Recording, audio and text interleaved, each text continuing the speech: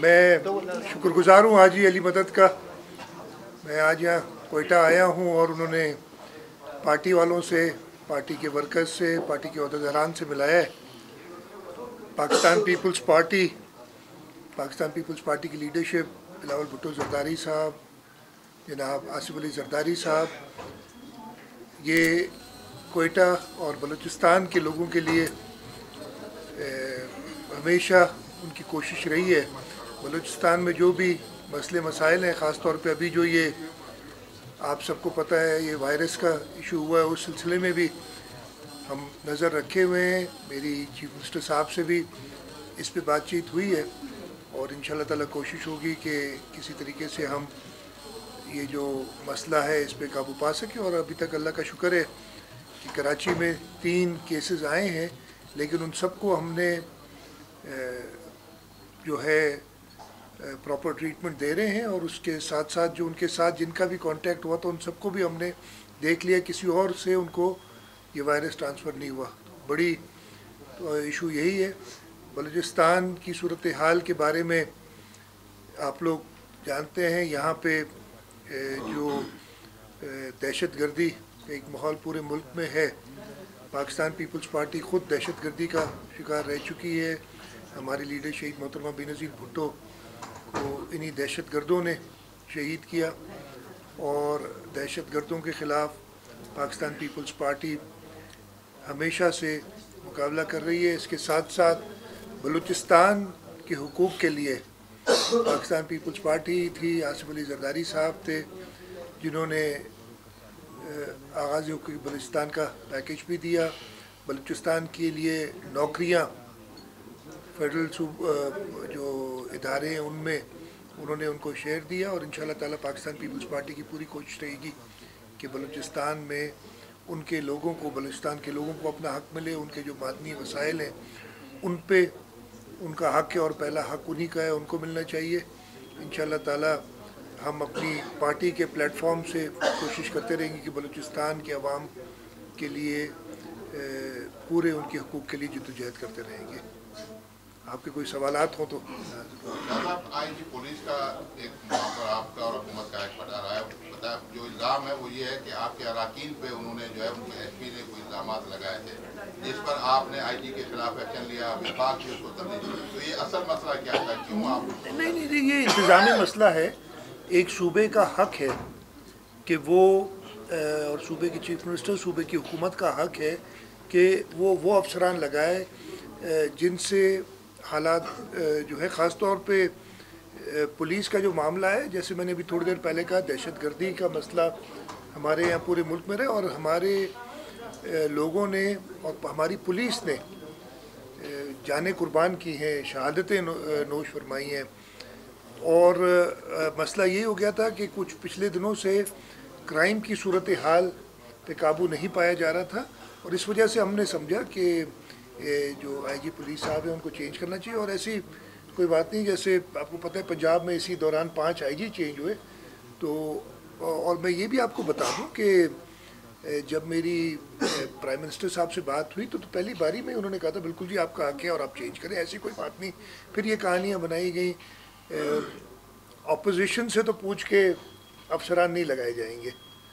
یہ ان کا شاید خیال تھا کہ ایسے ہوگا، لیکن یہ پاکستان میں نہیں ہوتا نیا پاکستان میں اگر یہ کوئی نئے رواج ڈال دیں، تو ادھر بھی پھر میں کہوں گا یہ علی بدک صاحب بدک صاحب سے پوچھ کے چیف سیکرٹری اور آئی جی لگا دیے جائیں، اگر یہ طریقہ کار رکھنا ہے لیکن یہ بالکل نہیں ہوتا، حکومت جس کی ہے، اسی کا حق ہے کہ وہ اپنے افسران تسلیم کرے۔ باقی جو آپ نے بات کی، ایسی کوئی مسئلہ نہیں تھا۔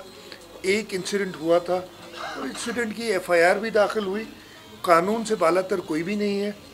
اور اس کے وہ کورٹ میں اب کیسے اور چلے گا؟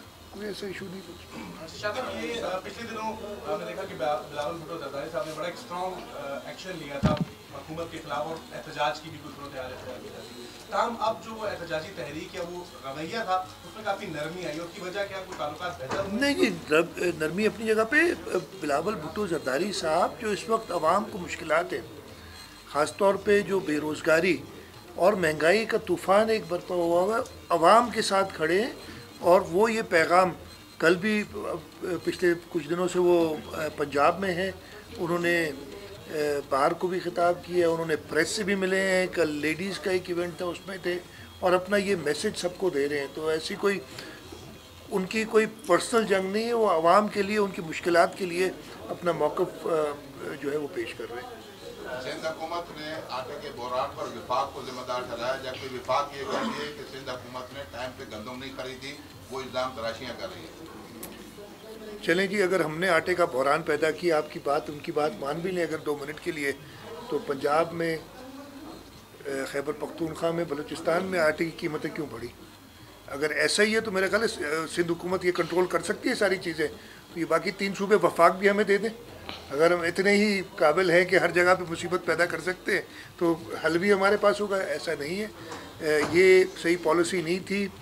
غلط وقت پہ ایکسپورٹ کر دینا گندم کو گندم کو جو ہے وہ چکن فیڈ کے لیے دے دینا، یہ سارے صورت حال تھی۔ ہمارے پاس تو وافر مقدار میں ہاں ہم نے بالکل نہیں خریدی تھی گندم۔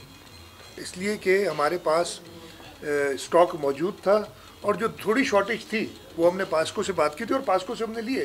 چار، بلکہ چار لاکھ ٹن گندم ہم نے پاسکو سے لیے اور پاسکو کے پاس گندم موجود تھی جو انہوں نے پریکیور کی۔ تو سندھ کے پاس تو اپنی پوری گندم موجود تھی اور ہمیشہ سے جو ہے، باقی صوبوں کے لیے وہ پنجاب سے گندم جاتی ہے۔ وہاں شارٹیج ہو گئی۔ میں نے کہا کہ اگر ہمارے پاس اتنا ہی ہم کر سکتے ہیں کہ قیمتیں آرٹیفیشلی انکریز کر سکتے ہیں، تو پھر ہمیں پورے حوالے کر دیں ہم تاکہ صحیح بھی کر سکیں چیزوں کو۔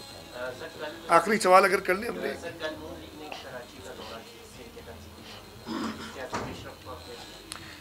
دیکھیں، ہر پولیٹیکل پارٹی کو پورا اختیار ہے۔ پاکستان مسلم لیگ نواز ہو، پی ٹی آئی ہو جو آ کے اپنی تنظیمی معاملات دیکھ سکتی، اور آپریٹ کر سکتی۔ ہم تو جمہوریت پہ یقین رکھتے ہیں، اور میں تو اس کو خوشائن کہتا ہوں کہ ایک پولیٹیکل پارٹی آ کے اپنی تنظیم کو مزید فعال کرے۔ جمہوریت کی جو ہے فروغ وہ اسی میں ہے کہ پولیٹیکل پارٹی ساری ایکٹیو ہو۔ پانی کے بحران پہ بھی بتا دیں بلوچستان کا ہمیشہ پانی کا جو ہے وہ بحران رہتا ہے۔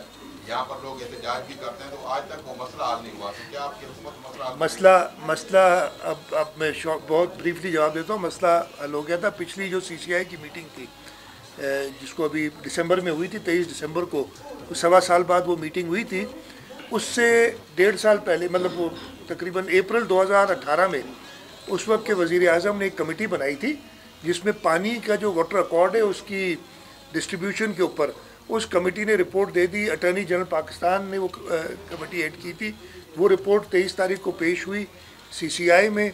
اس کو سندھ نے، بلوچستان نے خیبر پختونخوا نے اور آٹھ ممبران ہوتے ہیں سی سی آئی کے، چاروں صوبائی وزراء وزرائے اعلیٰ اور پرائم منسٹر اور تین وفاقی وزیر۔ تو تین وزرائے اعلیٰ نے اور دو وفاقی وزراء نے اس کے فیور میں بات کی۔ پرائم منسٹر صاحب نیوٹرل رہے تھے۔ پنجاب کو کچھ ریزرویشنز تھیں اس کے اوپر۔ مسئلہ حل تبھی ہوگا جب پانی کی جو اکارڈ ہے، اس پہ عمل درآمد کیا جائے۔ ہمیں سکھر براج پہ اور گڈو براج پہ پورا پانی دیا جائے، وہ پورا پانی ملے گا تو آگے بلوچستان تک جائے گا۔ ایسا ہو نہیں سکتا کہ راستے میں جو ہے، ہمیں پورا پانی مطلب اگر ہماری اور بلوچستان کی ریکوائرمنٹ چار گلاس ہے، جس میں سے تین گلاس سندھ کو ملنے چاہیے، ایک گلاس بلوچستان کو ملنا چاہیے۔ اگر ملیں گے ہی دو گلاس تو ہم بھی پیاسے رہیں گے اور بلوچستان بھی پیاسے رہے گا۔